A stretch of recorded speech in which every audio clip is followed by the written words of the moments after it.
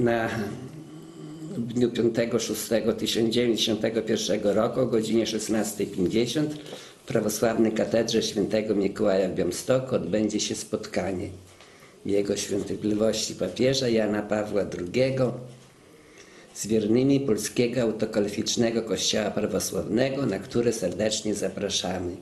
Białystok, kwiecień 1991 rok. No i byłem 6 metrów od papieża. Widziałem tego człowieka. Właściwie no, papieża jak szedł, promieniała z niego wielka taka charyzma, duchowość.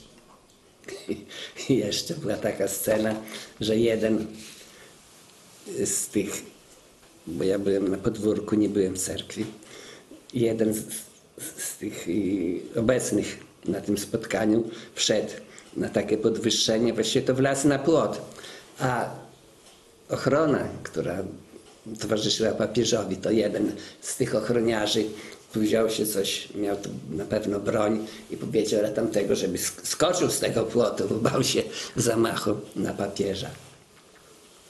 No i drugie moje takie osobiste przeżycie, które mi na zawsze zostanie w pamięci, że jak Państwo wiecie, papież od, odbył podróż na, na Wigry, jak był tutaj, prawda, i był w takim miejscu, które się nazywa chyba miejsce, Woda Święcona, takie miejsce koło Augustowa.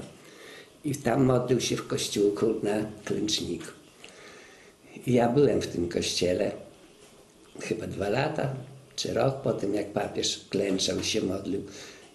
I chociaż to był kościół katolicki, ale to ludzie sobie stworzyli różnych bogów. Bóg jest tylko jeden.